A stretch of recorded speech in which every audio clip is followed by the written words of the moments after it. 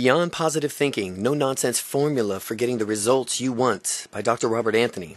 Chapter 1 Positive Thinking, Negative Thinking, Right Thinking. The starting point of making permanent and lasting changes in your life begins with the understanding of the difference between positive thinking, negative thinking, and right thinking.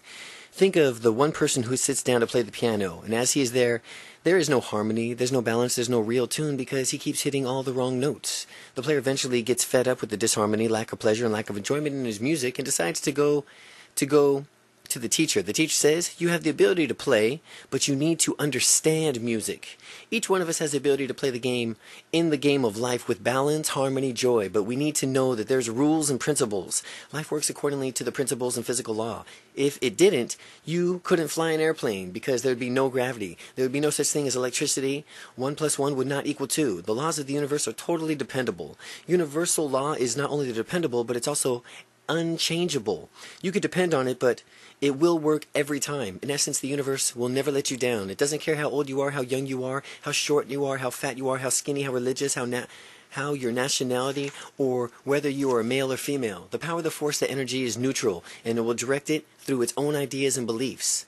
The power of the force or the energy is neutral, and we direct it through our own ideas and beliefs. The word is law. Your word is law. What we are saying is that your word is the law in the universe, but you need to know these laws. Without understanding of the laws through ignorance, you cannot create what you want. The fundamental law from which all others conform is the law of cause and effect. The law of cause and effect says that the effects of the results of any situation must be equal to the cause. The cause is always an idea or belief. Another way of describing the law of cause and effect, for example, of sowing and reaping, or action and reaction, or put in modern day context, my ideas are created into my results. The law of cause and effect is impersonal. Just like sunshine, if you are standing in the sun, you receive the warmth and the healing benefits of the sun rays. If you're standing in the shade, it seems like the sun isn't shining on you, but you move into the shade. But who moved you into the shade? Who moved you into the darkness? The truth is we are in we are in the darkness because of our own ignorances. The problem of ignorance. I repeat, the law of cause and effect is impersonal. This is why we can see so many people who are basically good have so many problems and disasters in their lives. Somewhere in their lives, this person has misused, misunderstood the law, and it doesn't mean that he or she is bad. It doesn't mean that he or she isn't a loving person. It just means that through ignorance and misunderstanding, the person has misused the law. This can be applied to any natural law. For instance, aerodynamics, aerodynamics and gravity will kill you if you will kill you, but a misunderstood a misunderstanding of it of its functions will. Even if you are kind and loving positive persons a misunderstanding of its functions and it will. The universe is like a river. The river keeps on flowing. It doesn't care whether you are happy or sad good or bad. It just keeps on flowing. That's what life is. People go down to the river and then they cry. Some people go down to the river and they're happy but the river doesn't care. It just keeps on flowing. We can cause it we can use it enjoy it and we can jump in or drown. The river just just keeps on flowing because it's impersonal. And so with its universe, the universe that we live in, we can support us, it can support us and our or destroy us. It's our interpretation and use of the laws of that we determine our effects and results. We can only receive what our minds are capable of accepting. We can go to the river of life with a teaspoon, some else may go with a cup. Someone else may go with a bucket, another may go with a barrel, but the abundance of the river is always there and waiting. Our consciousness, our ideas, our frame of reference, our belief system determines whether we go in this river of life with a teaspoon or a cup or a bucket or a barrel. Now, if we are impoverished in our thinking, we have gone to the river of life with all with only a teaspoon, We've cursed a little, for we have in this little teaspoon, and that's all we complain about.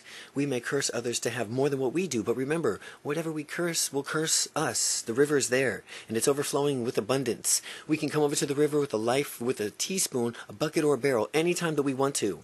What we take from the river of life is up to us. The only limitations is in our mind. The truth is, we can have anything we want if we'll just give up the belief that we cannot have it. It's as simple as that. Beliefs become limitations. All of our experience has led us to believe certain things about ourselves. Whether these beliefs are true or not really doesn't really matter because if we accept them as true, they are true for us. And if we speak our words long enough, they become the law of the universe. Pronounce your limitations vigorously enough and they're yours. Whether you believe this are true or it's totally, ins- totally insane, if you accept them, then that's what your life will be about. Whether your beliefs are true or totally insane, if you accept them, then that's what your life will be about. Once you have accepted this idea, it's an idea whose time has come, and there is nothing that can stop it once you've accepted this idea. Now, if we have accepted this idea and a lack of limitation, it is an idea whose time has come for us. There's nothing that you could do about it, and except for changing of your mind. If you plant a seed, it is going to grow. If you plant a tomato, you will have a tomato. The tomato won't change its mind to become a cucumber because it thinks a cucumber is better for you. The soil will give you tomatoes as long as you keep planting them, even if you're allergic to tomatoes. Look, as Look at the beliefs that form your groundwork of your life. We are full of beliefs that we collected over the years attitudes, ideas, opinions, conditioning. We are also full of so many ideas challenged us that we dig in our own heels and often think, Don't tell me anything new. I have my beliefs together and I know how. And I know together, and how dare you try to change my ideas? This is what I've based my whole life on. Now, you're telling me I could be wrong? I don't want to hear that. We live with a set of beliefs called religion. It's a set of beliefs called politics, a set of beliefs called ourselves, a set of beliefs called about the kind of people that we like and the kind of people we don't, and set of belief about everything else. Many of the things that we believe, garnered from the past experience, groups of people, individuals, are not true, but they are the things that we have imagined to be so true at the end from which at the end of our need to survive because the will to survive is the desire for certainty and strong. We've created rules about the nature of life and how it unfolds. These rules become beliefs. Unfortunately, those beliefs can also become limitations. Breakthroughs break through mistaken beliefs. Break through mistaken beliefs. The fact of the matter is that we can only be successful to the degree from which we are willing to shed our mistaken beliefs. When we experience sickness, failure, or lack of, it is often because of the limitations of our own minds. The sad thing is that, even though that we know our lives aren't working in certain areas, we are still afraid to change. We've locked into a comfort zone no matter what our self-destructive self or how destruct self-destructive it may be. Yet the only way to get out of our comfort zone is to be free of problems, limitations, and limitations is to get uncomfortable. We can only experience freedom in a direct proportion to the amount of truth from which we are willing to accept without running away. We must stop kidding ourselves, stop blaming others, and stop avoiding unpleasant decisions, and start facing the truth that we may have accepted unworkable beliefs that they are the direct cause and effects of our own lives. Our own beliefs have been the direct cause and effect of our own lives. And it is not a question of going from negative thinking to positive thinking. It's a matter of moving towards the right thinking. Again, right thinking in parentheses, which means moving towards knowing the absolute truth about who we are and our relationship to life. Right thinking, which is based on truth and not illusion in the foundation that determines the solidity of all other thinking. Positive thinking and negative thinking are both filtered through our belief system. Right thinking comes from being aware of the truth or the reality of any situation. Again, right thinking comes from being aware of the truth or the reality of any situation, being aware of the truth or the reality of any situation. Knowing the truth sets you free. Always, always seek to know the truth about any situation in which you are involved. Look behind the present belief system, asking yourself a higher, what is the truth about this? The higher self will always reveal the truth to you if you are ready to hear it. When you act upon the truth, you are using right thinking. It's not a matter of being positive or negative or simply being yourself. And when you are yourself, which means you are allowed of being in a higher self to reveal the truth, every situation you are involved in will resolve itself perfectly. This might sound magical, but it is only the law of cause and effect in action, the starting point of success. Starting point of success. The aim of all great teachers since the beginning of time has been awakened us for the fact that we create our own reality. More importantly, they have taught us that we are responsible for everything that happens in our lives. This includes the good, the bad, and the ugly.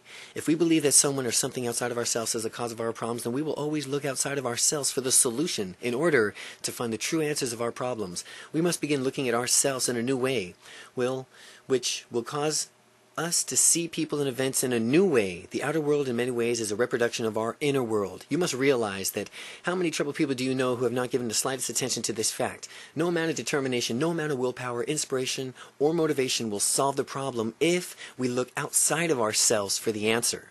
The law of attraction Everything comes to us by the most elemental laws of physics. Like attracts like. Like attracts like. This is called the law of attraction. The law of attraction, like all natural laws, operates in the mathematical exactitude. Exactitude, it is an impartial impersonal, which means it works when you want it to and when you don't want it to. It has nothing to do with your personality, religious beliefs, being good or bad, being a good or a bad person, or anything else. No one lives beyond this law. It is irrefutable law and It's as real as the law of gravity, the law of attraction. Before the law of gravity was identified, nobody knew it existed, and yet everyone was still affected by it. Such is the cause of laws of attraction. Most people are unaware of the mechanics of how it works, and yet everyone is still affected by it. You don't need to know the mechanics of how the law of gravity works, but you do keep yourself floating, but it does keep yourself from floating off into space. You also do not need to know the mechanics of how the law of attraction works, for it is a function in your life. You may not have realized until now, but everything you've experienced in your life is invited, attracted, and created by you. There's no exceptions. That you may not be in some good news of your life. There are no exceptions.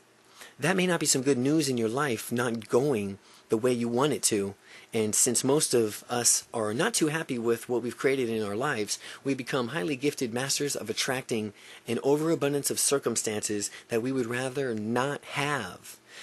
The mind attracts whatever is familiar to itself. The frightened mind attracts frightened experiences. The confused mind attracts confusion. The abundant mind attracts more abundance. Since we attract what we think about, it makes good sense to become aware of the subconscious thought patterns that control our lives. To become aware of our subconscious, our subconscious patterns that control our lives. You are always right. The primary function of the subconscious mind is to follow the instructions of the conscious mind. It does this by proving, by proving whatever the conscious mind believes is true. In other words, the job of the subconscious mind is to prove the conscious mind is always right. So, if you consciously believe that you can't be, do, or have something, the subconscious mind will create the circumstances and find the people to prove that you are right. The subconscious functions like the automatic pilot of an airplane. If an autopilot is set to go east, then you can manually override the controls to go north. But as soon as you let go, the automatic pilot, which has been programmed to go east, will control the plane, and you will fly east. Your subconscious does not change the reality of the world around you. It just filters the information that you present to it in order to support your beliefs and or the pictures that you hold in your mind. For example, if you believe the business is bad, then there's no opportunity for the business. Your subconscious will ignore the opportunities to improve your business. Instead, it will only point out the problems in your support and beliefs that the things are bad and that there's no new opportunities. Your subconscious can think for itself. It'll draw you to only those things from which you're consistent with your deepest inner beliefs. Your subconscious cannot think for itself. It will draw you only to those things that are consistent with your deepest beliefs. Nothing more, nothing less. If you do not know this is the truth yet, and do not realize that you create your own reality based out of your own ideas, you will feel powerless to change your life, to change your life for the better. Instead, you'll feel that you are the victim of people, circumstances, and conditions. If you accept yourself as a powerless as you look at something else or someone else outside of yourself to fulfill your desires, when you become when you come to an understanding that everything that you want can be created through your mind, through the use of right thinking, which is simply clear thinking, come to the realization that only you can give yourself what you want. Trusting your creative power. To create what you want, you have to trust the power within you.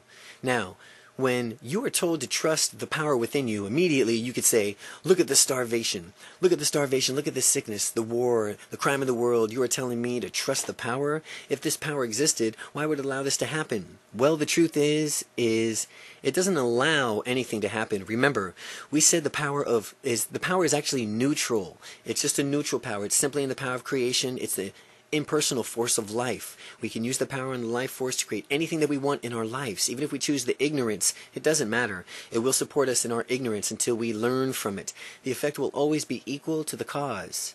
And if you want it, if if we're in a ditch, it means that the power is supporting us of being in a ditch in our lives and immensely if if our life is immensely successful, it means that the power supports us in our success. It all comes out of our own ideas.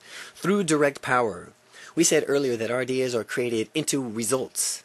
To put another way, it is done unto you as you believe, nor do you want. But if you believe, there's a vast difference between the two. Again, we said earlier that our ideas are created into our results.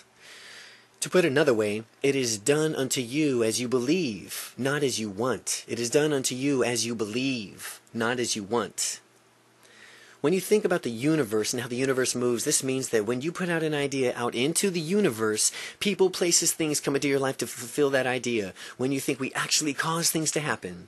Look at what this power has done to the universe. Look all around you. See all the marvelous creations, infinite in number. The best news of all the time. The power is within you. The more open, responsive, and receptive you are into this power to fulfill then the more fulfilling and magnificent your life will be. If this is true, then how does the power work? You and I are indirect users of the power, and let me explain. When you started your car today, what did you have to do? Well, you had to turn the key and which turned a small starting motor, which in the started the engine. Starting the motor was powered by electricity. Now, what was the direct cause of the electricity? What was the was it the battery? No, it wasn't. A battery is not the independent source. It has been charged up. It has been charged up. Your higher self is essentially a battery within that receives its own source, power of energy from the universe. It then stores the power for you to use for the purpose of creation. Again, what is this battery? What? Is it a battery? No. A battery is not an independent source. It has been charged up. Your higher self, your higher self is essentially a battery within the a battery within that receives its source of power or energy from the universe. It then stores that power for you to use for the purpose of creation. In science, there's a formula known as Ohm's law, which states that C equals E divided by R. C equals E divided by R. C equals the amount of electricity, electrical energy that is available for your appl- for your appliance at any place where you are going to plug it in. For example, C equals the amount of electricity to run your toaster, the power to run the appliance, to run your toaster divided by R, which is the power line coming into the building where you live at 750,000 volts but it comes into your house at 110 to 220 volts to run your appliances. To do this, the transformers are used on the power line to reduce the power coming into your house, to make it safe for application. This is just like the power available to you. You have the ultimate power of the universe available to you, but it's also an infinite wisdom, which might be referred to as a transformer. While our higher self is plugged into the ultimate power of the universe, this power also has enough wisdom to put some transformers in between to insulate it so we don't get too much before we are ready for it and to burn ourselves out. Now, if you wanted to bring in more power, what do you do? You would have to create less resistance. You would have to change the wiring to accommodate the additional flow of power. How to have more power. The power is like the water in an early example of the sense of a larger container needing to be carried into great quantities. This cannot expect that just because your higher self is plugged into the universal power or the universe power, intelligence and wisdom of the universe, that you could just turn it on. Because if you did, you would blow yourself right out. So in order to get our lives to work, to take greater advantage of this energy, we have to build a bigger channel for creative intelligence to flow through. To enlarge this channel, we have to expand our consciousness, expand our consciousness involving expanding our ideas and beliefs regarding ourselves and our relationships to this power. As we do this, we begin to experience more of the ultimate power and our ability to create great increases. The ultimate power and our ability to create greatly increases. You and I are creative beings. And we always have the capacity to create more. In fact, we are always creating consciously, unconsciously, knowing who we are, the process from which we are expanding our power within. We could begin to move our creation from the unconscious to the conscious. When we create from an unconscious level, when we create from a conscious level, we are able to make choices. When we create an unconscious level, we cannot make choices. So we often hear about how we have to have the power of choice, the power of choice. But that is not entirely accurate. We often hear how we have the power of choice, but it's not entirely accurate. It is misleading to say someone chooses the dysfunctional relationship, money problems, or any other negative situations in his or her life. Most of the time, we are operating in this default mode, which is based on our past conditioning. Choice implies by being conscious, by being conscious. However, when you are unconscious, you cannot make conscious choices. You are operating in the default mode or in an automatic pilot. The default mode is survival mode. This is when your mind takes control without us even being aware of what's happening. Choice begins when you stop identifying with your conditioned patterns in your past. Unit. And now, until you reach that point where you identify with your conditioned patterns of your past, until you reach that point, you are unconscious. This means that you are compelled to think, feel, and act in a certain way according to the conditioning of your mind. When we can make choices, we're no longer the victim of our unconscious reactions. If our unconscious negativity thinking does not support what we want rather than trying to eliminate it, we all have to do it. We all have to do, all that we have to do is center on some right thinking. Right thinking is a thought pattern that is based on truth. Truth is, by very nature, it must always be right. Whatever the truth is, it has to be right. Right. There is no growth without discontent. Your higher self knows what is best for you. All you need to do is assert that you want something better than you have right now. Realize that there is no growth without discontent. While it is important to live life in the present moment and accept what it is, it is also important to grow from where we are. Study your dissatisfactions very carefully because it will tell you something about yourself. Your life is an ever changing canvas. What you're going to paint, now, what are you going to paint on it? So ever changing canvas. Are you going to paint black of limitation? Are you going to paint lack and limitation? If you do, your canvas is going to reflect lack and limitation. Are you going to paint incredible everything? Are you chained to limitations? Have you ever gone to the circus and noticed the great big elephants are tied to a wooden stake? Just with a little tiny thin rope. Also, the baby elephant has a big chain around her legs that is tied to a long metal stake that goes deep into the ground. The stake is driven through into the ground, into the chain to make it strong enough, and the baby elephant is trained from the baby with a thicker chain. As the elephant grows older, they decrease the size of the chain down to a rope because the elephant was tr- trained to not respond to the pull, to not resist. Understand the rules of life. Understand that if your life does not work the way you want it to, it is because you have accepted false beliefs to keep you from being all that you can be. Unfortunately, the majority of people on this planet feel stuck. When they look at the world and start seeing suffering, misery, impoverishment, when we see so many well unintentioned people doing without, the world looks insane. We see people giving up, believing believing that they have to take from others in order to have anything for themselves. Rarely do we think within the answers to this confusion. Rarely does the individual really look to see what the rules of life are. So what happens? In our own ignorance of ourselves and on life, we hassle, fight, and strain to get what we want. And in the end, it's not even working anyway. Playing the game of life. Playing the game of life. You see, life is a game. Some people play the game to struggle. Some people play the game of sickness. Some people play the game of poverty. Some people play the game of being right all the time. Some people play the game of being late. Some people play the game of happiness, abundance, and health. Happiness, abundance, and health. That's the game you need to play. It just helps to understand that each individual plays the game he or she really sets up. It's no longer game is necessarily better than the other, but the game we're not bringing us some sort of payoff, we'd stop playing. If the game wasn't giving us some sort of playoff or payoff, we would stop playing. Look at your own life. Try to see the secret satisfaction that you have out of not being fully in charge of your life. What kind of secret satisfactions could you possibly be in feeling victimized? Well, how could you enjoy even feeling weak or poor or inadequate? The question is the payoff of a pay value. For example, if you play the weak game, others will have to love you, take care of you, and protect you. It's the ultimate way to get attention. But if you play the game being undecided all the time and let other people decide for you, then you are living a protected from blame if you make a mistake. In other words, if you keep both hands tied behind you, then you can expect someone to take care of you, is what it is. In playing the helpless routine, you're actually controlling others. In playing helpless routines, you're actually controlling others. The power of powerless people is remarkable. They are good at making others play the part that they have written for them. Look at the value that you have getting that you are getting out of your own payoff. For example, in being sick, looking at the value that you get out of being sick, you may be saying that this is an insensitive, that this is insensitive and cruel, that you don't know what I've been through. No, it's not cruel. It's crueler to deny it. What you really are saying is that you disease has more power than you do to decide your destiny. The question here is who is giving this illness such a power? If you're experiencing illnesses, you need to take a look at it. And don't pass a judgment on yourself. Don't let it just let it just let it tell you something. Know that no matter what is going on in your body, it begins in your mind. Illness of the body and the reaction of the mind. Since the body is feedback mechanisms of your mind, it will always let you know what is going on with your consciousness and your emotional level. Let your body be your teacher.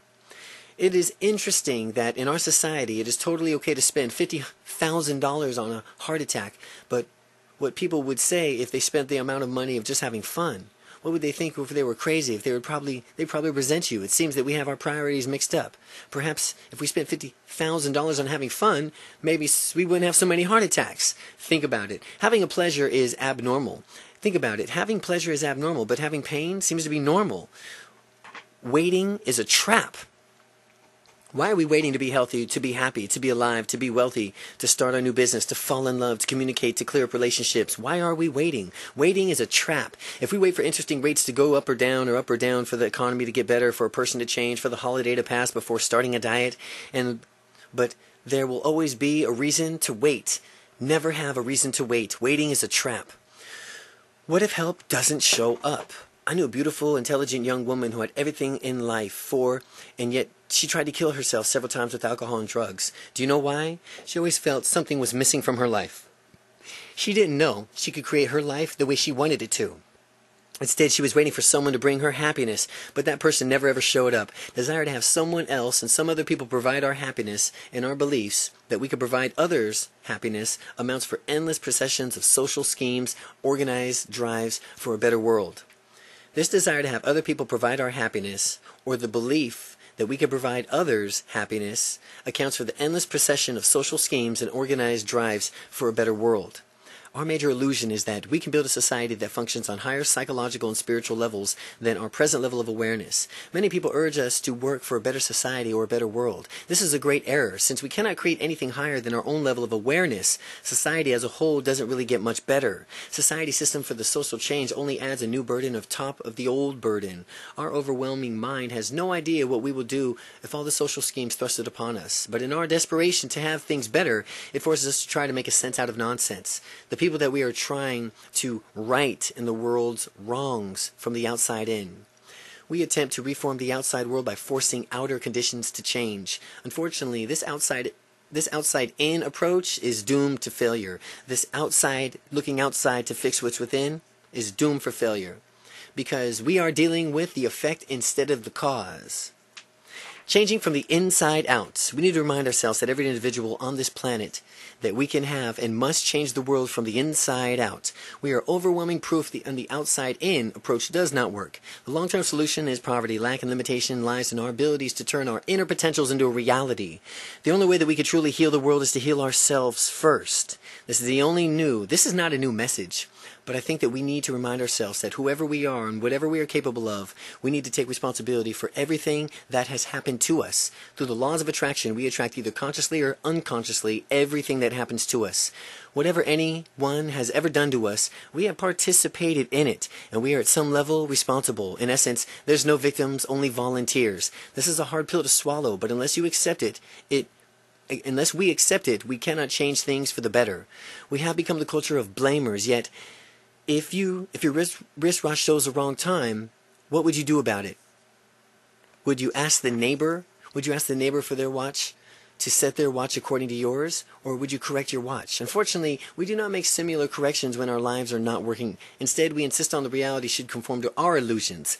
The starting point of success your unlimited power lies in your ability to control your thoughts. A confused mind works in the direction of sickness, poverty, lack, and limitations rather than the direction of abundance, health, and success. If we are not creating our lives the way that we want them to be, then we are creating from an un- unconscious. And since life is a consciousness, the most important task that we have is developing a higher possible consciousness. Higher possible consciousness. We can do this by looking at the conditions of our lives and challenging beliefs, even if our ego is threatened. Whenever we want something in our lives, we must let go of anything that is between what we want to believe and what we want. In your heart, you know exactly what you want. And if you will listen to your intuition, it will tell you. Your mind will sell will sell you out, but your intuition never will. Your intuition is the connection from your ultimate power. Learn to trust it. People control people can control you through their through your mind, but they can never control you through your intuition. We imagine we will lose some something by following our intuition, but have never taken a look at what we have lost by no following of your intuition? Whatever your intuition is telling you, it is what you need need to heat. It is what you need to hear. Whatever your intuition is telling you is what you need to hear. As you learn to trust more and more, it will reveal exactly what you need to do at any given moment. Your life is important. It's important to you. It's important to the rest of the people on this planet. I believe your every person on this planet arrives here for a mission. If you will listen to your intuition, your purpose or your mission in life will be revealed to you. Chapter 2 The Truth About You. If you want to take control of your life, it's important that you gain the basic understanding of who you are who you are, our self image, or what is the picture of ourselves that we hold in our minds, becomes the key to our lives. All of our actions, feeling, behaviors, and even our abilities are consistent with our formed pictures. We literally act upon the kind of person that we think that we are. What we need to be aware of is that as long as we hold onto that picture, no amount of willpower, effort, determination, commitment will cause us to be any other way, because we are always going to act in the way that we see ourselves. To be any other way, we must first look at how we form our self image, our mental blueprint. From birth onward, we collect hundreds of ideas about ourselves, about being good, bad, wise, stupid, confident, fearful, fearless, so on. Through repetition, these often false identities harden into our self image. The self image either allows us to be happy or successful or ter- tyrannizes our lives. Whether we realize it or not, within ourselves is the mental blueprint. The mental blueprint. It's a picture of the way that we think that we are. The blueprint is exactly to complete down to the last detail. The summary of the blueprint is our own self image. However, this blueprint is not who we are, but rather who we think we are. The circumstances and conditions that have formed our self image may have only totally erroneously or blown out of proportion. But as far as we are concerned, they are true. Once we record this information, we do not question its validity. Most of the time, we can't even consciously recall how or where we obtained the information. We just live our lives as if we thought it was true, even if it's not true. We believe it's true. The secret of the ages. The secret of the ages. The vast majority has missed the message of all the great teachers. Since the beginning of the recorded history, it has tried to share with their fellow human beings. The secret of the ages, the most incredible truth um, the very few realize is that at being level, which we will call your higher self, the secret of the ages is one most incredible truth that very few realize. The secret incredible truth is that the being level, the being, as in human being, we will call out your higher self. Your higher self. You are spiritually whole, complete, and perfect. Just as a drop of water has all the quality of the ocean, you have all the qualities of the, of the Creator within you. Science, philosophy, and religion all teach us that in their own way that there's ultimately one power of the universe, and that's we're one with the power, the energy, the force, and whatever you're comfortable with. You and I are individuals, individualized expressions of the overall power of the universe. This can be called our higher self. We can destroy, we can never destroy the higher self within us. We can destroy who can deny that that's there? We could try to hide from it, we can lie about it, we can ultimately, but we cannot change the fact that it's who we are. We need to do what we need to do is recognize that it is who we are and learn how to channel it through our thoughts of who we are. Who you are and what you do is not the same. What we understand, the distinction between who we are and what we do, who we are is a spiritually perfect but what we do is not always perfect. The gap between who we are and what we do is created through ignorance. When we don't know that we are spiritually perfect, it follows that our actions will be less than perfect. I'd like you to do something right now. Just say to yourself, I know who I am is spiritually perfect. I know who I am is spiritually perfect. Now listen to the little voice in your head. It's probably saying, Oh no, I'm not. The affirmation of perfection seriously threatens your ego, your ego immediately sends it back to the response, What do you mean you're perfect? Come on now, take a good look at yourself. Look at the way that you are, how you treat other people. Remember what you did yesterday. You're always complaining. How about the way that you treat your mother, your father, your boss, your mate? How about the way you treat yourself? Remember the terrible thing you did back in 1986. How can you say you are spiritually perfect after that? Remember the terrible thing you did back in 1986? How could you say you're perfect after that? Take the good and look at yourself and stop this nonsense. Take a good look at yourself and stop this nonsense. Your ego is trying to trick you. Your ego is trying to trick you.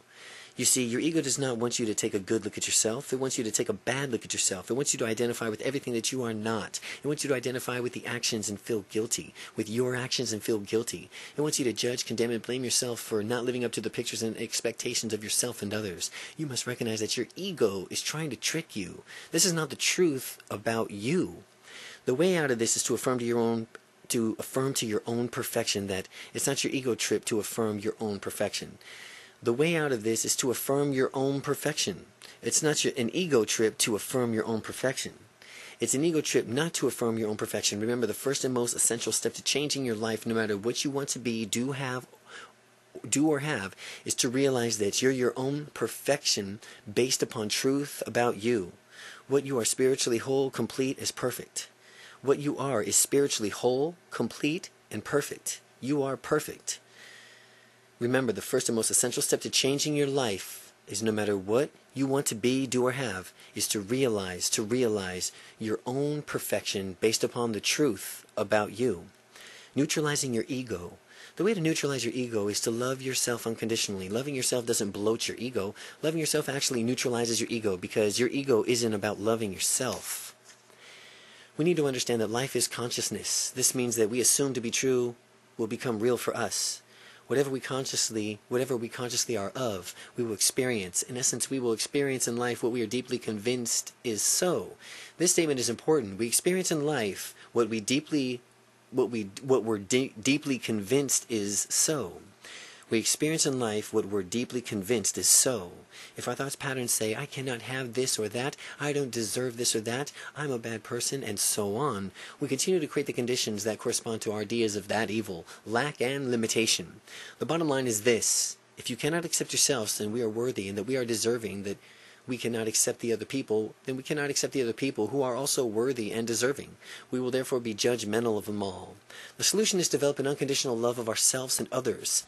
This is the only way that we can ever be free. We must take total acceptance of ourselves and first then others, knowing that as we can, as spiritual perfect, knowing that as we are spiritually perfect, so is everybody else.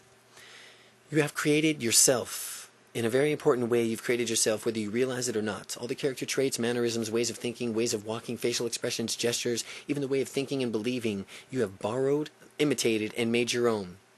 It may have been from a parent or other family member, favorite teacher, friend, character in a book or a movie. Maybe you borrowed it from someone you didn't even know you liked.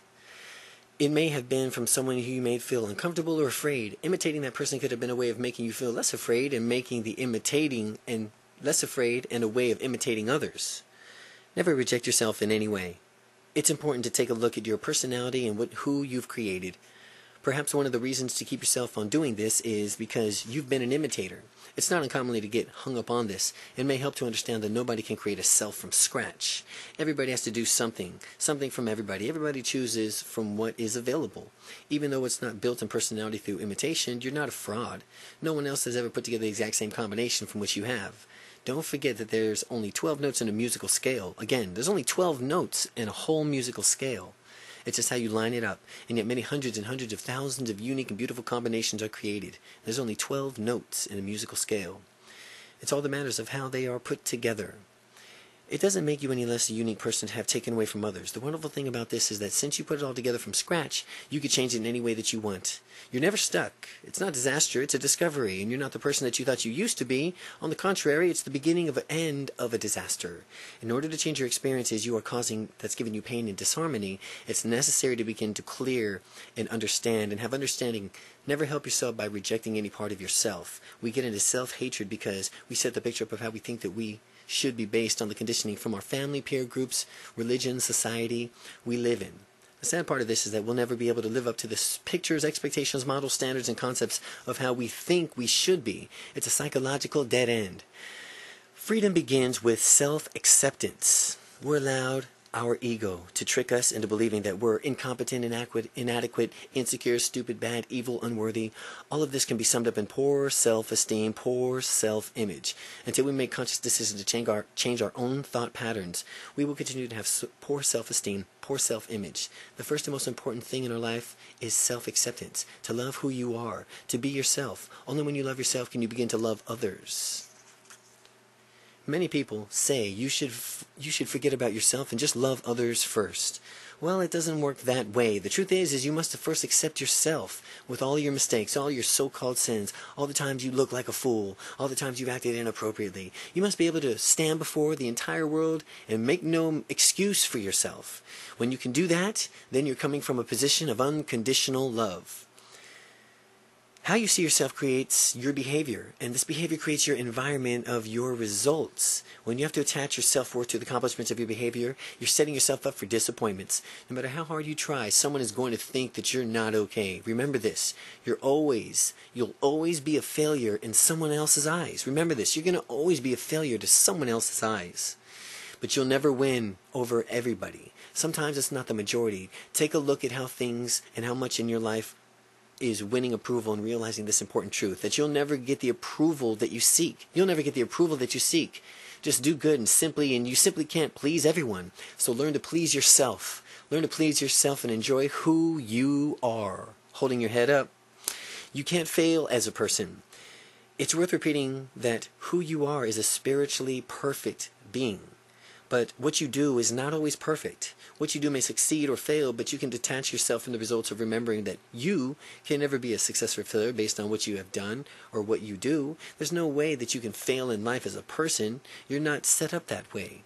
When you're hating yourself for all the things that you've done or haven't done, or into hating other people for what they haven't given you, then you're into the suffering. Suffering is a way of putting yourself down. It's a way of being angry with yourself. If you really get down to it, anger and suffering is a lack of happiness in the lives that comes from the disappointments in ourselves and not living up to some expectations that we have for ourselves and that other someone else and that other someone else has of us. In working with people who have self-destructive behaviors, I found that the majority cause of behavior is self-hatred. This self-hatred stems from a fact that they hadn't lived up to someone else's expectations. Most most of us judge ourselves on the basis from what we have or don't have and what we've accomplished, what we haven't accomplished. We feel that when we are failures, we let others and ourselves down. When we don't come up with the expectations of our patterns, employers, expectations of our parents, employers, religious, religion, friend, mate, it concludes that we're no good. And this is known as self-judgment. When you're standing in judgment of yourself, you will just judge yourself. The truth is, it's true that each of us has this thing in our lives that we regret. But at some point, we have to stop dwelling on the regret and move on. We have to learn the lessons and throw away the experience. Learn the lessons and throw away the experience. You can never be for anyone as long as you are against yourself or ourselves. We can never be for anyone as long as we're against ourselves. To be against others is the highest is to be against ourselves. This is a spiritual and psychological truth. The most corrupt thing about what we can do is to judge someone. To suppress another individual, to take away another's aliveness is one of the most negative self-destructive behavior patterns a person can have. Release everyone, including yourself. What would happen if you had no regrets or you had no past? Try to imagine what would happen if you could totally forgive everyone and everything in your life regardless of whatever had they had done to you. Hopefully you're at the beginning to see the degree of what you cannot forgive. Hopefully you're at the beginning to see that to the degree that you cannot forgive, whether it is being yourself or someone else, you, perpetu you perpetuate unhappiness, poverty, sickness, and lack of limitations in your life. And lack and limitations in your life. Many people don't want to forgive others. They say little things like, why should I let them off the hook after what they did to me? The enemy the enemy is always someone we think can harm us or take something away from us. But the truth is, is no one can harm us. People harm us through ourselves. Actually, they don't even harm us at all. We give them in instructions of how to treat us, and then they just do what's following. Make a decision to give up all the resentment right now, because in the end, it will eventually destroy you. Yes, you say, I agree with you, but I don't know about any circumstances. They really did hurt me. Maybe I'll give up my resentment someday. But right now, I can't let go. Understand to do this mentally is more harmful and destructive to you than it is to the person that you're actually resenting. Turn your attention to this idea. You cannot be wealthy if you if you resent wealthy people. You cannot be successful if you resent successful people. You cannot be happy if you resent happy people. Whatever you resent is a statement of what you lack. This is also applies to the healing. You cannot be healed if you resent towards anyone because resentment breaks down the immune system and it literally can cause your own sickness. Resent can break down your immune system. Remember, whoever you resent is you. Remember, whomever you resent is you because we're all one. Rather than resent people who have done who have what you don't have or do what you cannot do, take the time to learn from these people. Let them become teachers. Let them become the masters. Be with the masters. Be with the people who know the life and how life works. Admire them, acknowledge them, support them, having fun from what they have. And as you do that, you actually support yourself in having what you want. If you study philosophy and religion, you will see that the values and morals are principles, for they teach us often rooted is the belief of something that is better than something else. A is always better than B. Don't get caught up in that trap. Forget about what other individuals or group beliefs are as far as what they think is right. Whatever they think is right for you. Instead, realize you are connected to the same source of power and that you know what is best for you. Pleasing others is a psychological dead end. About 700 years ago, a great preacher, ripe with years and honors, lay dying. His students and disciples asked if he was afraid to die. Yes, he said, I'm afraid to meet my Maker. How can that be? The students and disciples responded. You have lived such a life, an exemplary life, and led us to our own led us out of the wilderness like Moses. You have judged between us wisely like Solomon. Softly replied, Well, when I meet my Maker, he will not ask, Have you been like Moses or Solomon? He will ask, Have you been yourself? And the story shows that throughout time, people have struggled to be themselves. Why are we still struggling? The struggle comes out of the need to please others. By assuming your own destiny, you are bound to get somebody angry for sure. Your boss, spouse, parents, children. At first, assuming your own destiny can be a lonely process, but if you, but it may seem that everyone is against you. But the only image that you must live up to is your own image. The opinion of those who you approve or disapprove are irrelevant. The decision to live your life is your own responsibility. The results of your own life and your own responsibility. All the results of your own life are your own responsibility. Your actions and actions become your own responsibility. Often other people have the values and beliefs that are in conflict of yours. And when they see you living in opposition to their values and beliefs, it can be frightening, very frightening for them because, in a way, it threatens their foundation. When a person is confronted with your beliefs, there's an inner battle that's waged. And the battle is, could they possibly be right? If they are, that means I could be wrong. Could they possibly be right? Which means I could be wrong. A person who knows who they are is not threatened by the beliefs of others. Those who are insecure and do not know who they are will always be frightened by anyone who directly or indirectly threatens their belief system. But not if you know and really know who you are. How do you treat yourself? Let me ask you. Do you like yourself? Do you trust yourself? Do you keep promises that you make to yourself? Do you think that you're a good person? Are you yourself most of the time? Have you developed an act to cover up who you are? If you had a friend who treated you like you treat yourself, or talked to you the way that you talk to yourself, and broke commitments the way that you break commitments to yourself, do you think that you'd keep him as a friend? Let's face it, you probably wouldn't want that type of person around. It's very important to take a look at the way that we treat others. Most of the time, we are on our own, we are our own worst enemy. We are afraid to meet in inner selves because we think that we may not even like what we see. We often hear people say, I want to explore myself, or I'm afraid of what it's going to find out about myself, or I'm afraid of strange creatures that I might find along the way of this, along this journey. Understand this clearly. It is an absolute impossible for the truth about yourself to cause fear. Again, it is absolutely impossible for the truth about yourself to cause fear. No matter how terrible the truth may be, it is powerless in itself to either frighten or harm you. Fear is caused by resistance to the truth and the misunderstanding of it. Again, fear is only caused by the resistance of the truth and the misunderstanding of it. Start the journey of self discovery. Start your journey of self discovery at once. At once. Nothing but good can come from it. The understanding of the fear cures fear. Don't get hung up on the kind of person that you think that you are. Don't concern yourself with whether or not better or worse or other people. Instead, try to know yourself as the kind of person that you are and the kind of person you would like to be. If you would like to be a hand finished, if you look at a hand finished house, it is under construction, you don't condemn it for its unfinished condition. You don't say it's inferior to the other houses, nor you concerned with its appearance. All you do realize is that for additional work, adopt this way of thinking towards yourself. It just needs additional work looking at the house. Whatever you present condition, you just realize the need more for of a construction. Be patient with yourself, but be firm towards the necessary work that needs to be done. Self worth comes from self, self. That's why it's not called other worth. If your worth comes from others, you will never be able to love yourself. When you're when you're an expert on yourself, you are an expert on everyone else. When you're an expert on yourself, you're an expert on everyone else. A conscious person knows himself. You know his own nature, and therefore I know everything about other people who have the same nature. Know yourself as you are, and you will know others as they are. Never be afraid to expose a weakness in yourself. Exposing a weakness is the beginning of a strength. Remember, everything you learn about yourself is good news. No matter how difficult or surprising or it's surprising it may be, it's good news. No matter what you ever hear about yourself for the rest of your life, it's good news with the belief that you know that you must abandon but be reluctant to do so as well. Wise person will always be willing to give up a piece of coal in exchange for a diamond. Have the courage to do this and self-change begins.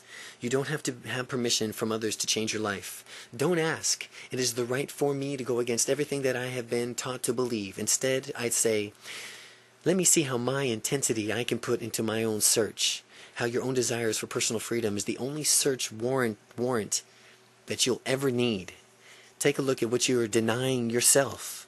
Take a look at what you're denying yourself. If you're really going to learn the truth about yourself and live the life the way you're capable of living, a lot of people aren't going to like it because they're not committed to the same path that you are? Are you going to deny yourself riches because others are poor? Are you going to deny yourself health because millions of people, millions of people are sick? Take a good look at what you're denying yourself, and don't ever think of yourself as wrong or wanting what you want. And don't ever think, you think think of yourself as wrong for wanting what you want. As we move along the path of self discovery, we bound to make mistakes. Those so called mistakes, faults, sins, errors are not you. Make sure that you separate who you are from what you have and what you do. Again, separate who you are from what you have and what you do. You, that's what's happening in your life, is only temporary and it will always be changing. It's important to understand that your higher self is changeless. When you identify with your temporary nature, it takes it takes on a belief that what you have and what you do is the real you. It's possible that the biggest error that you can make in life it's possible the biggest error that you can ever make in life when your higher self is changeless, when you identify with your temporary nature and you take on belief that what you have and what you do is the real you. What you have and what you do is not the real you. To experience your own magnificence, it requires that you separate what you have and what you do from who you are who you are. Learn to separate the performances from the performer. Become the involved. Become the involved in what's happening in your life, but not to uh, identify with the temporary nature. As you stand on the seashore and you watch the ships sail by, there is no problem as long as you simply stand there and watch them go by. It's only when you identify with the ships that you feel pain and suffering. If you say, That's my ship, then you will grieve when it passes from the sight. If you say, I must command that ship, then you will live in a fear that someone else will become its captain. Likewise, it's simply watching and observing our mistakes and unworkable behaviors without judgment. We prevent harmful identification with our temporary mistakes, faults, and errors. The only authority figure is within yourself. The only authority figure is within yourself. As you start to question and look honestly in your life, and you come to a point where you begin to realize that the only authority figure is within yourself. We look to others for authority to tell us what we're supposed to do, but the only person who will ever know what to do is ourselves. Have you ever wondered why certain people are connected by a con artist. A con artist cannot con someone who is conscious. People have trouble understanding why others take advantage of them. The reason they get taken advantage of is because they give the power away. They don't want to be responsible for their own lives. They don't want to make their own decisions, so they allow others to do it for them. But understand this the truth. If you allow others to do it for you, they'll do it to you. And as long as you let others have responsibility for your life, they will control your destiny. Why do you want to change your world? Why do you want to change your world? It's easy to say that others are to blame, but this type of thinking puts us farther into a bondage because it sets our limits of freedom. Once again, straightening up and thinking involves separating what we have and what we do from who we are inside. Separate what we have and what we do from who we are inside from who we are inside, separating the doer from the deed. The secret is to live in this world, but not to let the world live in us. We want our boat in the water, but we don't want the water in our boat. When the water is in the boat, we start to sink, but when we bail it out, then we have to bail it out like crazy to stay afloat. The problem is, is we often find ourselves drowning in the water of physical effects that we've created in our lives. Once our once we're drowning, we don't know any other way to deal with it except to fight it and to try to change our circumstances. Before I go any farther, let me ask you this. Why do you want to change your world? Every time we attempt to change our world or change whatever's going on around us, whatever it be in our business, careers, government, members of our family, or mate, or whatever, we're operating under the illusion that these people or events are doing something to us. Actually, what we need to do is change our experience and the relations to them. People and events never do anything to us. They merely trigger feelings that are already within us. If we go back to the basic principle of life, we understand that nothing happens in this world that we don't permit deep within our own consciousness. It's been said that many ways that it is done within and unto you as you believe. It's done unto you as you believe, and sometimes those beliefs are very deep. Whatever is going on within our hearts, it is fundamental alignment with our outside, with our outside experiences. Even even we may not be consciously aware of it. I know the principle is difficult to accept because there are undoubtedly things in our lives that we consciously do not want. However, the truth of the matter is there's deep inner need that you are satisfying. There's a deep inner need that you are satisfying. Imagine the unhappy person sitting on the home stating, I want to change my life. This person redecorates his house and he finds himself just as unhappy as he was before. So he redecorates it several more times and he feels no change in himself. Do you know any people who believe that they can change the level of happiness that they have by changing their exterior scenario or scenery? There have been made a mistake. They definitely made a mistake. Where can you correct that where where can they correct themselves? If you like to be totally honest with yourself and take a good look at what's going on in your life, you'll discover that it's actually happening. Therefore, it stands and reasons that if we attempt and we are successful in changing the outer effect, but don't change the inner causation, we will only create the same experience again. It's all about the inner causation. If you no longer know what to do, this process of self-evaluation is very good paths of finding yourself. It'll help you to understand that the mechanical thinking process cannot rise above the limited level. If you do not know and you're not sure what to do, or if you have any anxiety, don't try to seek release it from, don't try to seek release from the anxiety. Just stay where you are and let it tell you something extraordinary, and it will. The truth about you is that you're not what you have, and you're not what you do. You are spiritually whole, complete, and perfect, and your success and happiness in life will be in direct proportion to your ability to accept this truth about yourself that you're spiritually whole. Chapter 3 What are you telling yourself? It is a demonstrated fact of life that you and I do not behave in accordance with the reality of what we can do, but in accordance with the reality of what we believe we can do. It stands no reason if we change the way that we believe, we could change the way we act.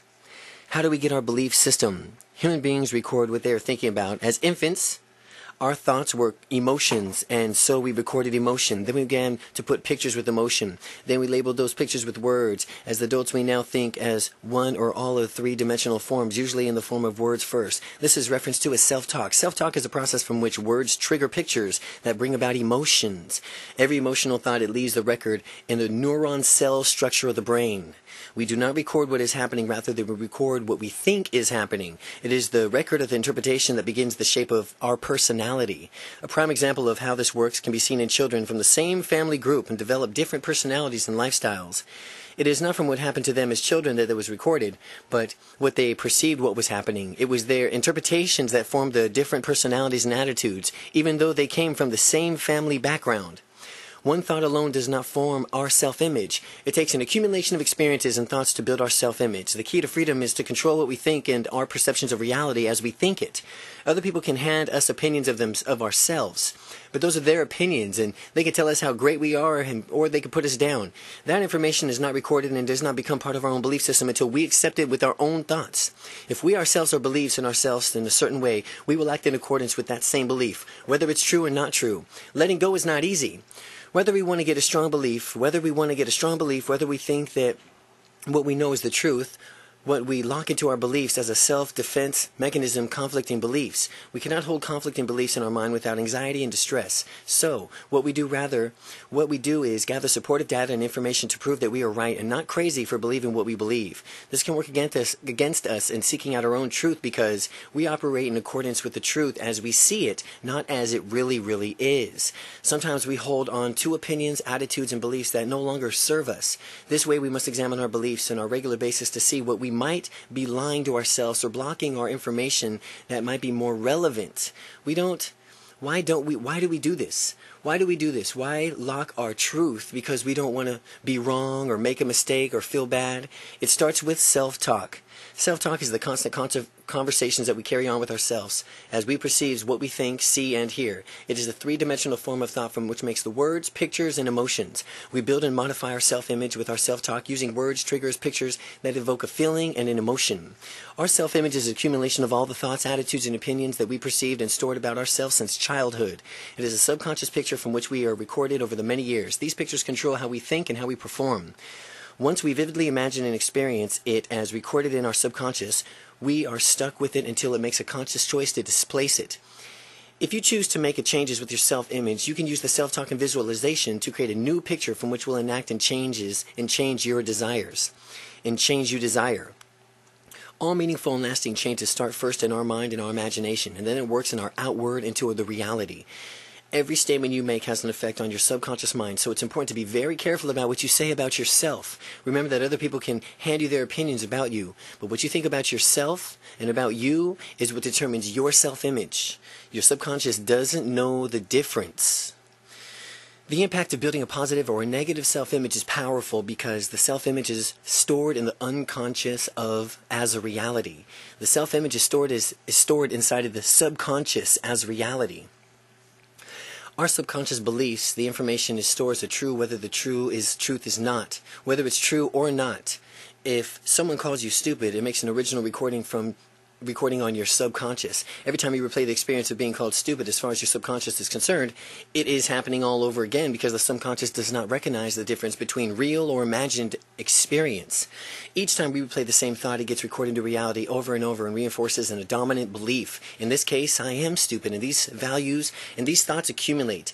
They bring about patterns of belief, and they allow these thoughts to build up in our minds. And if we allow these thoughts to build up in our minds, we then act out those beliefs. Thus, we live in a self fulfilling prophecy. Thus, we live in a self fulfilling prophecy. Sure enough, principle. Our level of ex- expectation. Our level of expectation, whether it is ourselves, another person, a day, a task, situation, determines our outcome. Once we lock into the per- then once we lock into the preconceived notion of how we think things are going to be worked out, then we go on to create the situation and gather information to make the reality. And sure enough, we get exactly what we expected. This is called the sure enough principle. Sure enough principle. You can use this as self-talk, either reinforces already existing self-images or beliefs, or it can be used to modify a better or worse and worse opinions and attitudes that you have about yourself. The sure enough principle. Again, our level of expectation, whether it's ourselves, another person, a day, a task, situation, determines our outcome. Once we lock onto a preconceived notion of how we think things are going to work out, we then go out and create that situation or gather information to make the reality a sure enough. And we call, and sure enough, we get what we expect. This is called the sure enough principle. It's when we put all the laws of attractions to absolutely have that happen, and it does. That's the sure enough principle. Self reinforcements, self reinforcing cycle. The self-reinforcing cycle. My self-image controls how I perform or my performance reality. I always act like I like myself. I cannot act otherwise. I could try to act otherwise, but I will have to work very hard to override my subconscious picture of reality. I automatically behave like this, like the me. The me who is controlled by my picture. What forms the picture in the first place was my self-talk. Each time I affirm that I am a certain way, I record it in my images of reality. I act accordingly to the images of reality automatically, without even thinking about it. And after I act, and after after I act like I thought I was supposed to, I talk to myself about it and I continue to tell myself the self-talk. What I did to say to my what did I say to myself? That's the way I am, which reinforces the pictures that I say. Always act this way, which reaffirms the image, which turns ensures I will do the same thing the next time. This is known as self-reinforcing cycles. The self-reinforcing cycle works like this. Number 1, I notice my performance of a task, how I act and how others evaluate my actions. I notice my performance of a task, how I act and how others evaluate my actions. Number two, I talk to myself about my performances through self talk and affirmation statements. Number three, my self talk reinforces other positive and negative self images or how I feel about myself to reinforce my self talk. Number four, how I feel about myself forms a self image, which is a regulating mechanism that allows how I perform the next time. How I feel about myself creates a self image, which is regulating mechanisms that controls how I perform the next time. Most people, after they have performed below their level of expectations or if they've anticipated poor performance in their imaginations, reinforce a negative experience with statements such as, there I go again, or that's just like me, or that's the way I am, or it happens every time, or this isn't going to be one of those days, oh, this is going to be one of those days, etc.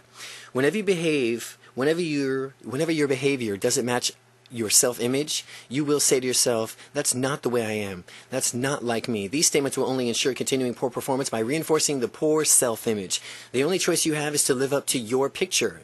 How to increase your performance. How to increase your performance. We have to learn to cease attacking our self images with those times from which our performances does not live up to the expectations because our negative self-talk will only increase poor performance. So, how do we correct this? The first thing we need to say to ourselves when we're engaged in negative self-talk is stop it. And then follow up with a statement which is not like me. The next phrase is key phrase. Say to yourself the next time, I will keep positive on this subject. I will not blow up. Then make an affirmation of how you are going to do this next time. Shut up the old picture. Shut off the negative movements. Don't tolerate poor performances from yourself or others. Don't put yourself or others down by focusing on what you're doing wrong. Just say, well, the next time I will do it this way. If you are working with others, you could say, well, the next time I want you to approach the client this way. Or the next time we'll do it like this. What you're doing with these statements is giving a positive, immediate feedback to your subconscious. Instead of recording the negative picture, you trigger the picture of performance, of the performance that you want. The key to reinforcing your already existing positive self-image is modifying your self-image for the better, is to visualize what you want in your performance, to look like what you want it to look next time, and stop picturing, thinking about it, and talking about what you are trying to avoid. When your performance pleases you and you feel good about it, you should use positive self-talk to reinforce the positive picture. Affirm it to yourself that that's the way I am, that's like me. Positive self-talk statements are the best way to maintain and build your own self-esteem. They deliberately cancel out the negative put-downs we apply to ourselves or the opinions other people try to make us accept about ourselves. How do you feel about yourself? The size of scope of your goals will increase proportionately with your self-esteem. When you have low self-esteem, you will attract negative influences which will prevent you from reaching your goals. Take a look at the clients you are dealing with on the relationships from which you are involved. The fact is that you will always associate people that you feel worthy of being with. This includes your friends as well as your clients and or your business. Take a look at your material possessions. and You draw from yourself which you feel are worthy receivings. The car you drive, the clothes you wear, the home you live in, the total quantity, quality of your life is determined by your self-esteem and self-worth.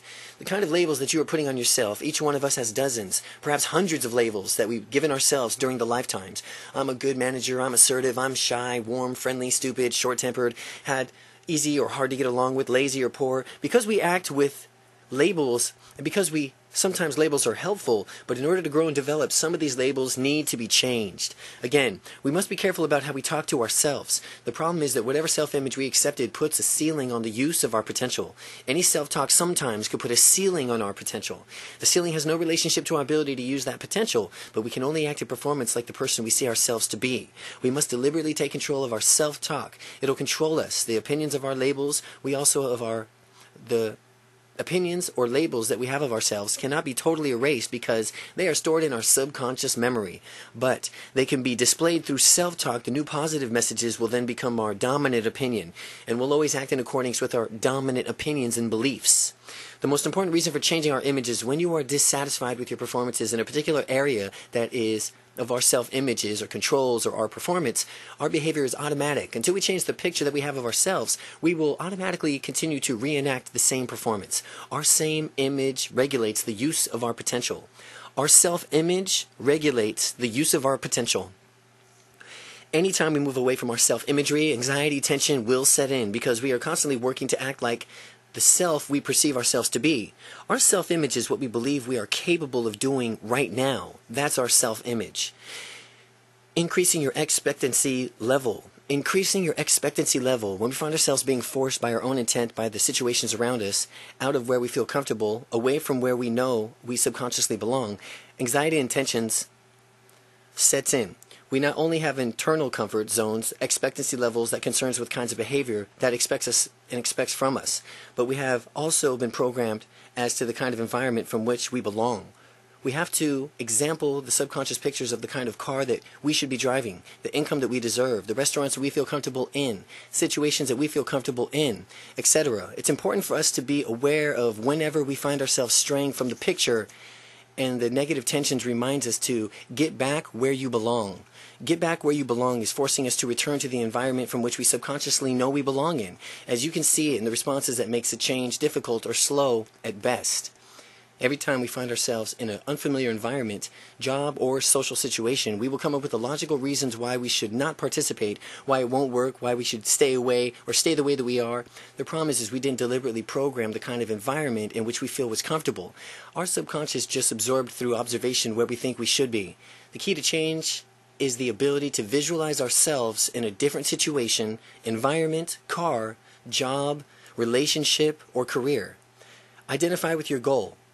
Only vivid imagery is the first person, and in the present range changes of reality. This will be discussed throughout the chapter 6. Program your mind at best, but for now it is necessary only to understand that visualization is not like watching a movie. Only images appear experienced and identified with in the first person presents tense. Change realities.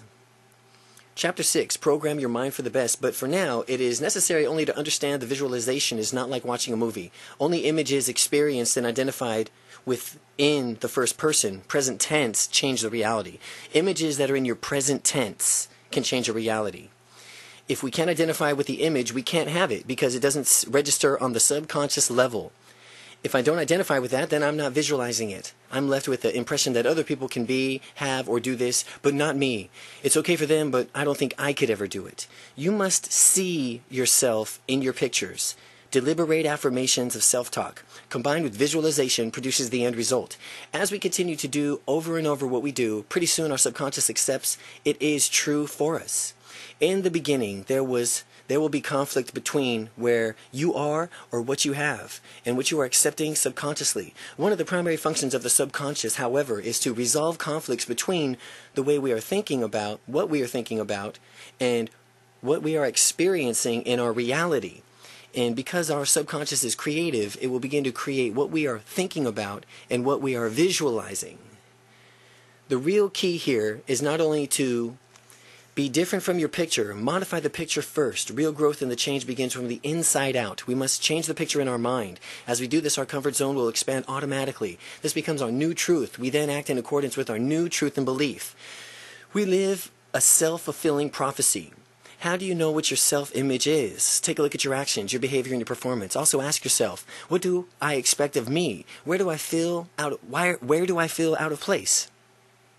If you see yourself as poor, you will unconsciously do things that make yourself lose. When you lose, you do what do you suppose you, you say to yourself? Oh, that's the way I am, or I always lose out, or I never have any money. This reinforces the picture, which causes you to fail again, which causes your self talk, which reinforces the picture, and so it continues. People without money feel victimized, but what they don't understand is that they live in a self fulfilling prophecy. That is, the rich get richer, the poor get poorer. It has nothing to do with the money. People with winning, people with winning self-images cause themselves to do things that win. If they lose occasionally, they don't accept that as their fate. They know that losing is not normal for them. They reject it by saying, well, that's not like me normally. Well, that's not the way things happen for me. Or the next time, I'll change this. Attitudes help and hinder our success. Attitudes help or hinder our success. Attitudes are extremely important in determining the difference between success and failure. What are attitudes? Attitudes are dominant beliefs. Dominant beliefs in and themselves. Attitudes are neither positive nor negative. The valuation of attitude is always in relation to our goal. Once we set a goal and our attitude either supports us or keeps us from attaining the goal. For example, being an introvert in itself is neutral. However, your goal is to be a public speaker, such an attitude wouldn't support you in obtaining your goal. The attitude ha- you have developed to cause us seek out is to avoid situations. We picked up the most of our attitudes within deliberate intents. We picked up most of our attitudes without deliberate intent. Most of them were formed unconsciously. On the other hand, if we have attitudes we can cause to avoid situations, we have a conscious decision to change them. All we need to do is make a first, a new affirmation, visualizing an end result. What we choose to have and have a response and repicture ourselves to being a person who has an emotional response. You can visualize yourself seeking out or, in some cases, avoiding, if you choose, a particular action in any daily life. Attitudes allow us to grow or prevent us from growing depending on how we use them. Attitudes allow us to grow or prevent us from growing depending on how we use them. The primary function of the subconscious. The subconscious is a system of checks and balances.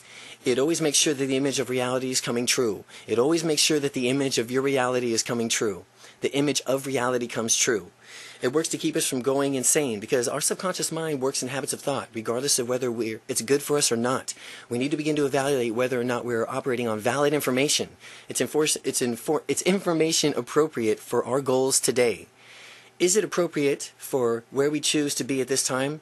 In dealing with the world around us, our actions are based on the habits of thought, accepting by our subconscious. We need to examine our habits and thought to see if they aren't relevant for our success, and which are further ones we program towards our goals and which we do not program towards our goals. We will either stay where we are or, through our own deliberate intent, convince ourselves that it's our best interest to change. If we choose to change, we must visualize ourselves into the new belief. Constructive self talk and imagery takes the ceiling off of the use of the preconceived abilities and allows us to grow in a controlled manner without stress, tension, or negative feedback. It's good to understand, and it's good to be understood, that we have an overall self image as well as a specific self image for specific areas of our lives. Each self image is formed in the same manner. The job of a subconscious is to creatively ensure that I am always acting in accordance with the truth as I see it, to act in accordance with the truth as I see it. My performance. However, I act and behave in control of my self image. Again, my performance, however, how I act is in, or behave is controlled by my self image. Change self talk before changing your actions instead of working on your actions, we want to work on our self imagery. We, how do we go about doing that? The same way we do the self images established in the first place is self talk. Through your self talk. Work on self talk begins in any given area from which you choose. You start to control our self talk from when our behavior is other than from which we want it to be. We will say to ourselves in some manner, that's not the way I am, or that's not like me. Uh, make an affirmation to say, me, me is like. It's like me because I'm a winner. It's like me to be a winner. It's not like me to be loving. It's like me to be loving. It is like me to be loving. It's like me to be successful. It's like me to be outgoing. It's like me. It's like me. Yeah, it's like me. When I do something that is successful, something that is in the past would not have liked me, someone would not have liked me, I must then, through my self talk, reinforce my belief by saying, well, that's the way I am. That's like the new me. I am successful, easy to get along with, and outgoing, etc. And as I do that, the subconscious mind records all of my self talk. It does not record what is happening, it just records the opinion of what is happening. What I image is to be true is actually what's going to be recorded. Everything you say in your self talk is going to be recorded to your subconscious recorder. We move towards what we picture. We move towards what we picture. We physically, emotionally, psychologically create our activity and movement, what we hold as our pictures and the pictures in our minds, whether it's good for us or not. As long as we hold the picture as drawn towards that picture, we cannot, we control our imagery through self-directed and through direct self-talk. We can image ourselves into a new behavior. Even right now, we may be opposite to the way we're behaving or acting. Remember, though, we must come Remember, thought must come before action. Thought must come before action. Don't be concerned about the actions. Only be concerned about your self-talk and mental pictures. Make sure that they are controlled to bring about the desired end result. As the pictures changes, so will your performance. Our subconscious creative mechanisms knows exactly what we are that we are in a time and space and relationships to the target. The relationship is where it is right now, and the end result is us uh, from which we're trying to achieve the end result. If we get off course, negative feedback will motivate us to stay on course. This stimulates the creative energy to drive to attract people, material things, new books, seminars, whatever else we need to create a picture in our mind. For that picture must come first. We can't start without a picture. This subconscious creative mechanism provides for us a useful and powerful technique for utilizing our creative abilities. To utilizing our creative abilities. Because we move towards the pictures from which we see, it is important to control what we are picturing. The goal must be clearly and specifically defined. What are we after? What does it look like? If we cannot describe it, you cannot get it. Forcing change creates failure. What's the biggest traps we fall into the forcing change, such as trying to discipline ourselves or saying to ourselves, I have to do this, or I have to lose weight, I have to work harder. This very push is the subconscious working against the end result. In time, you'll tell yourself that you have to do something at the job of your subconscious saying, No, you don't. You don't have to do anything. I'll get you out of it. With creative avoidance, procrastination is in any way possible. You'll find a way to do it. When you say, I have to, I have to, say, I have to 50 times. If you say, I have to, you are saying, I have to. But if I had my own way, I would rather be doing something else. Uh, the harder you try to do something, the more you work against your natural subconscious creative mechanism. When I recognize I can choose to or want to change because it was my idea to become like that, then I have the power around me, and the most people have chosen to give up.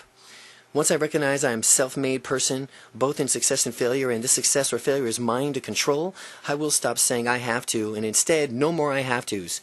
Instead, I'm going to say, I choose to. Choose, choose, choose, choose, choose to. I choose to. I can be my image. I can be my image, and it tells me that I can, and I can move constructively towards the end result with excitement, magnetic energy, and drive. Remember, your word is law. When you can rely on the promises to yourself, to others, you become a powerful person. We are only as strong as our word is strong. And if you give your word to the others, that you give your word to others, it's going to be some place in a particular time. It will call to a particular time. It'll make this or that change. You must be able to follow through because every time you don't keep your word, you lose your power. It is not only what your word is to others because you can make excuses, it is also the word that you give to yourself. When you say that you intend to do something, then you give yourself the word to keep your agreements with yourself. When you know you can count on yourself with that power, filling that belief, that's not much you cannot, there's, there's not much that you cannot do because you know you make things happen. It is simply a matter of keeping our minds off what we don't want and on what we do want. Don't spend time imaging and imprinting what you are trying to avoid. Instead, just keep Instead of going away from something you don't want, go towards what you do want. Go towards what you do want. I've always been away. I have always been this way. This is the way I behave. This is the way I am. I've always been this way. This is the way I am. This is the way. This is the way. This is the way things always happen to me. The best advice I can share with you is to never go by past track records. Never go by the past. Every moment is a brand new beginning. Now, what do you really want? Successful high performance people look at what they have and what they want and move towards the end results. So, what is it that I want? We must decide for ourselves. What makes us happy? What makes us a happy person? What do I get? Why do I go to work? Why do I go to school? Why am I involved with anything? Why do I, what do I want for myself? What everyone wants in life is to feel good. It's as simple as that. It's the feeling that we are after, the feeling of feeling good, or the feeling of happiness.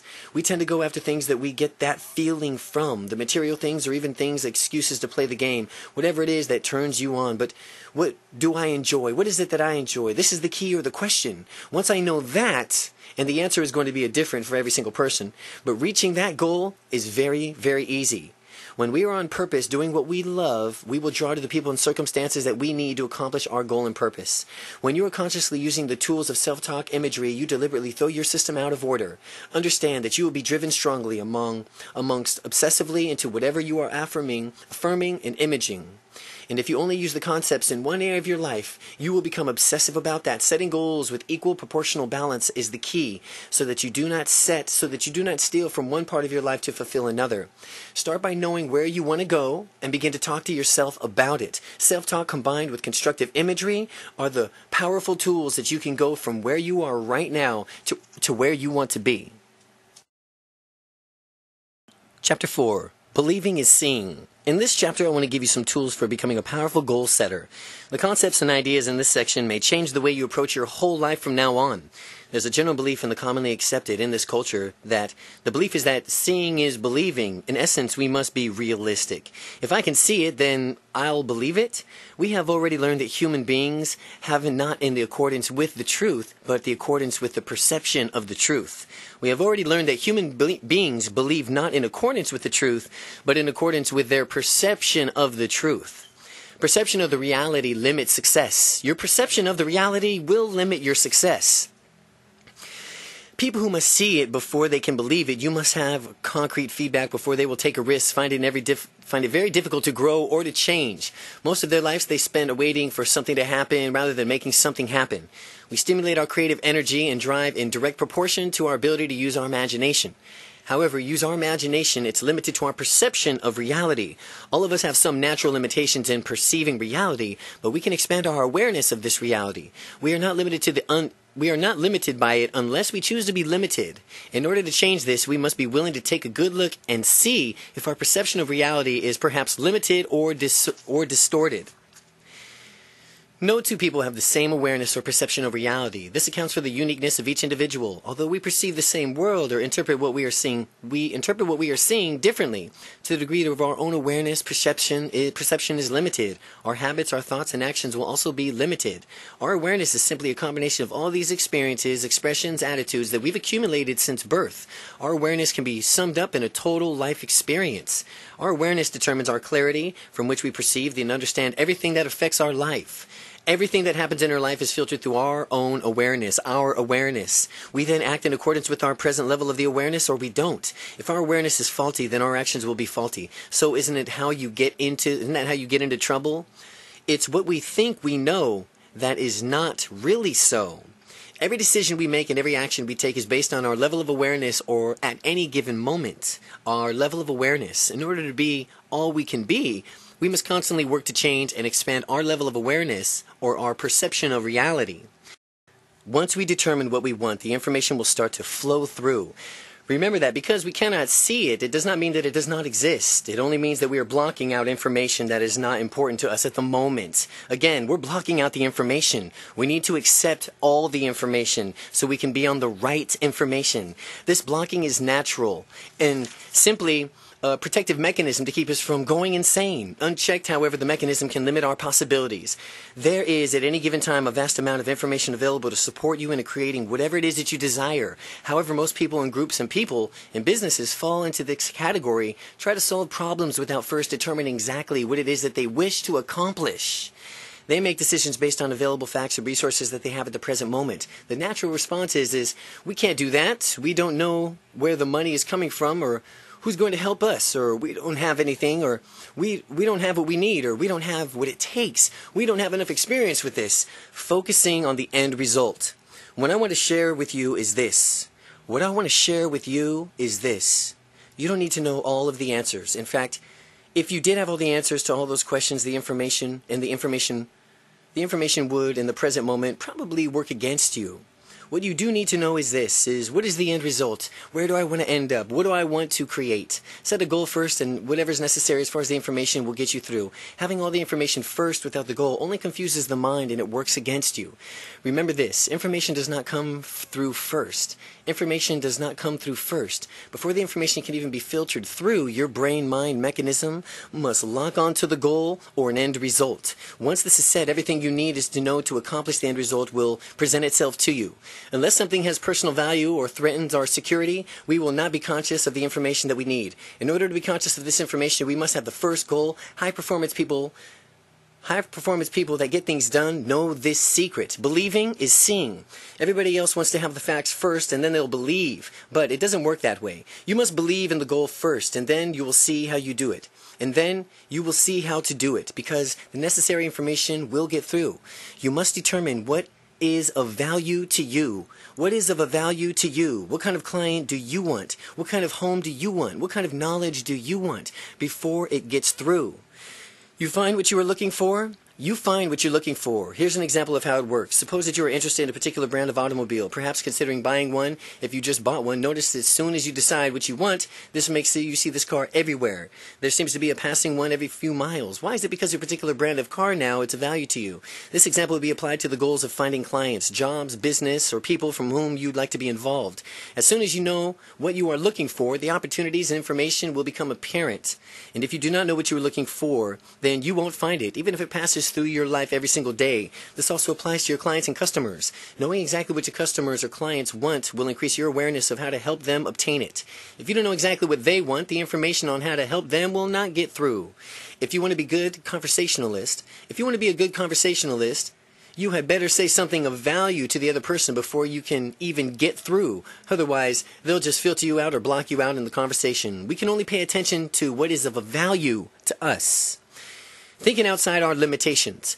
Another person we don't see opportunities is that we limit ourselves by the way we think. If we're willing to think outside of our limitations, we must be willing to think outside of our limitations. We often feel unforgettable or uncomfortable psychologically when we experience contradictions or conflicting opinions, beliefs, or attitudes all at the same time. It is possible to hold on to different attitudes without it being emotional, emotional disharmony, only as long as the situation does not occur in which these attitudes are brought into direct confrontation. Generally, when people are placed into a new and unfamiliar environment and situation, a change of behavior and or modification of an attitude is necessary to lessen or eliminate the anxiety caused by the change. We are always seeking to maintain psychological balance by attempting to get things to fit together inside of ourselves. The most common way to relieve conflicts is through rationalization. Rationalization is what people use when they attempt to explain their logic or reasons for their actions, opinions, or conducts. Rationalization. In order for a person not to look foolish or make embarrassing mistakes, he will gather people and information that supports his opinion to justify his conduct. As example, when we meet a person of the opposite sex that we are attracted to, particularly trait in that person, the tendency is to subconsciously see the other good features and block out the negative traits. This justifies our reason to have a relationship with that person. Before a person makes a, or communicates or a decision, he will usually go through a stage where he's evaluating the overall situation. During this time, this person will usually be open to new information. However, once he makes a decision or commitment, he will start to gather only people and the facts to make him look good or make him right for believing and acting the way that he does. Start looking for reasons that you can get away with. The process is called clustering. Clustering. Unfortunately, when we seek to prove that we are right from being the way that we are, choosing what we choose to do, we block out the information from which may be useful to us by making rational decisions, essentially blinding ourselves to other options. When we lock into an idea or reason as to why something won't work, the solution does not get through. Don't think about why it doesn't work. Try to find why how it could work, and the solution will get through. Solutions instead of problems. You don't look for problems or talk about them. You're talking strictly solutions. Because we can't see a solution, it doesn't mean that it does, it's not there. If you tell yourself that there's no way to expand your business, no way to com- to complete this or that project, no way to get something done or get what you want, you focus on the problem instead of the solution. You can use your subconscious to help you gain answers and solutions, or you can use the same subconscious to come up with reasons and rationalizations of why it can't be done. The choice is always there, and the choice is always yours. For an example of this, when you want to buy something, most people shop around for the lowest price. Once you found the item they want, they usually try to come up with a creative way to cut back on expenses and do with something something else to find do something else from which they could find to afford it.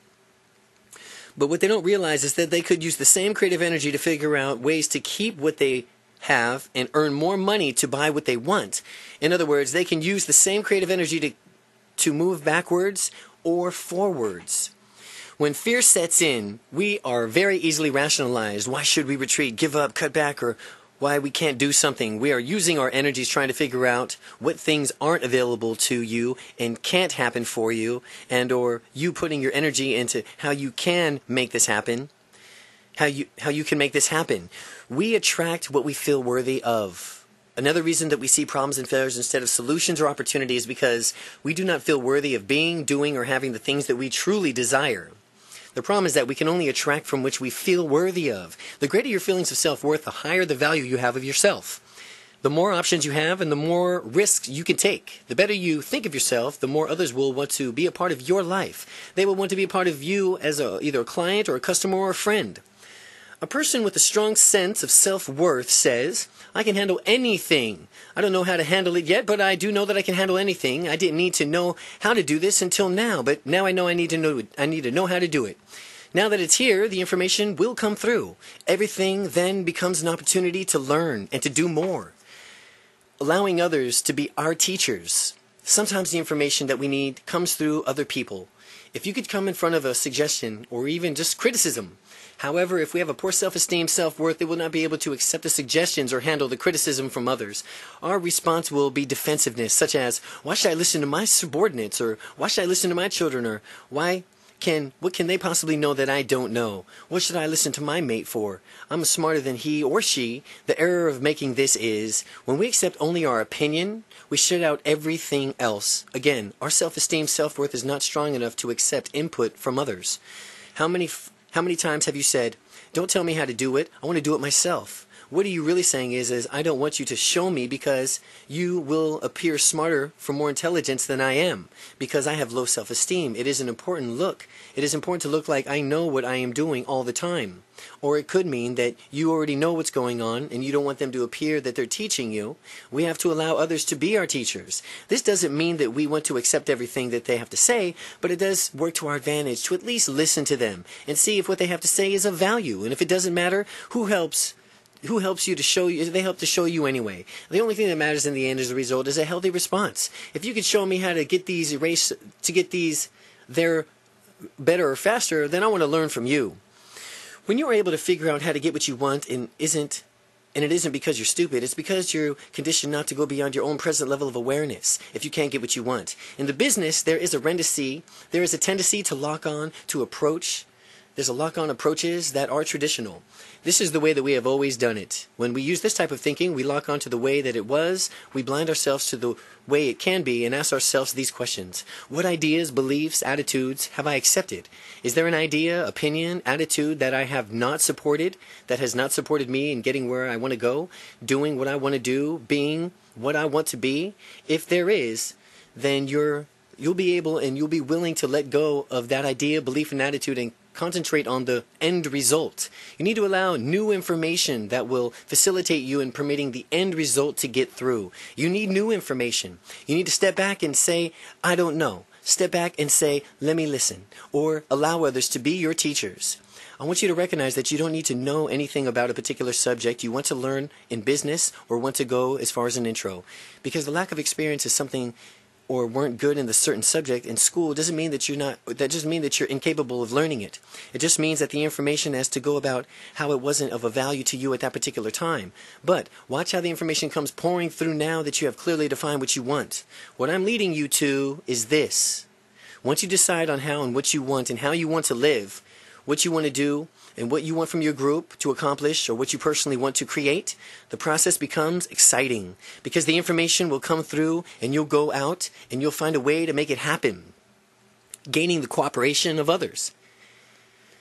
I also encourage you not only to make things happen for yourself, but also for your business, for your company, your family, your friends, your groups, the people you work with. It isn't, it isn't so much that we believe, but from which we can get the people around us to believe. The key is getting others to believe from the way that they are, as far as to see how capable they are, to think the way that they are, and to get them to stop dwelling in their own limitations, why something can't be done or something about the past. If you want them to begin focusing their attention on their where they want to go and how and what they want to become, once again, the end result is the only thing that counts. When you have an idea and a belief and you are seeking to create something that you did not exist before, when you have an idea or belief and you're seeking to create something that has not ever existed before, a new product, service, business, or whatever, your problem won't be your belief in an idea. It'll be trying to convince the, the, those around you that is, is it possible? In order to get help and cooperation from others to reach this goal, your biggest problem will be how to get others to believe in you. How can I get them to support me? This is the problem every leader faces. It isn't so much to meet, it isn't so much the matter from which the, the leader believes, but rather that the leader can get the people around him or her to believe. We know that everyone acts in accordance with the truth as they perceive it to be. If their perception of reality is faulty, this will come up in illogical reasons of why it won't work, why it can't be done, why it's impossible, why it's too difficult to accomplish. Remember, they are nor in they are nor intentionally trying to sabotage you or hold you back, but they're just acting in accordance with their own truths as they perceive it to be. Remember, that's their truths and how they perceive it to be. The challenge is how to lead people to believe that they can do more than they are ever thinking that they're capable of doing. Perhaps you could see that your children have potential, but it doesn't do you any good to see the the potential if they can't see it. Your employee's potential or your mate's potential, but it is meaningless unless that they can see it because they must act in accordance with the truth as they perceive it to them and as they perceive it to be. Help others to change their level of expectations. Good leaders, parents, mates are able to help others to change their level of expectations, to change what they believe in is true. They're able to motivate them to believe in something that they did not believe in before, and then help them with their self talk and self imageries, and then make that belief into a reality. In order to do that, you can't just ask them to blindly follow you. People today are too sophisticated for that. As children, we were learned because of living in faith very soon we become logical adults and we want logical reasons. We have to teach each other how to create from an idea, how to use the tools that we are learning throughout this book. If they are not willing to use these tools, they will do everything that they can to prove that they are right in believing what they believe. And in the end, they will either try to sabotage you or try to stop you, or try to stop you to make themselves right. Surround yourself with can do people. Can do. Take a look at the people in your life. Who are you telling to? It can't be done. There's no way. I can't see this. It can be done. Are you allowing these people to determine whether you are capable or not? In essence, you are giving your power away to these people. If you are, make a decision to reclaim the power.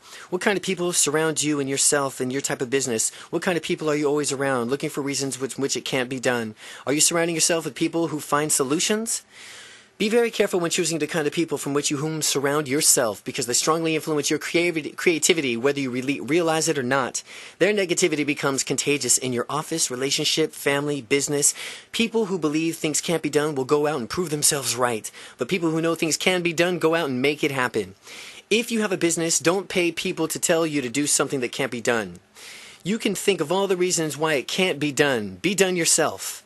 You don't need to have people around you tell you that it can't be done. You can pay them, you don't have to pay them for that privilege. Surround yourself with people with high self esteem who can tell you that it can get done and they can get the job done, how to make it happen, and teach them to take and look for solutions instead of problems. Every strong leader sets a goal and then does whatever is necessary to make it happen. Every strong leader educates the people around him to start setting goals based on not only what is available, but on what they want to accomplish. This will help strong leaders and the people around you become more performances and become high performance people. In order to experience growth and change, you must learn to alter our level of expectation. To change our expectancy level, we must have a strong belief in ourselves and our goals. We must know we can take any idea and make it happen. Everybody else wants to see it before they believe it, but you must believe it before you even see it. And as you have more faith in your own power, you will transmit this to others. This, with this knowledge, with your own capabilities of those people around you, you could do anything that to others seen unre- that to others would seem unrealistic or even impossible. The real meaning of faith. What this all boils down to is having the ability to accomplish tasks that others find difficult or impossible. You have goals you see based on which is apparent, on which can be seen. You have and what you think is realistic. Don't base your goals on what you have or what you have done, but based on what you want to do and ultimately where you want to go. What we are talking about here is summed up in the one word faith. Faith is not something religious or esoteric. It's a sound psychological and, physio- and physiological fact that when you understand how the brain and mind functions together, the brain and mind functions together, then you will know that faith, which is believing before seeing, is the natural process of creation. Faith is believing before seeing. When you understand that, it is your belief or your faith in the ability to create that determines your results you are then able to go out and accomplish tasks that other people think are impossible. You simply set your sights very high on what you want and then allow your information that will enable you to go out and create with your own stress and without effort to come through. The reality is whatever you are looking for, and the reality is that whatever you are looking for is at the same time looking for you. It all starts with believing before seeing.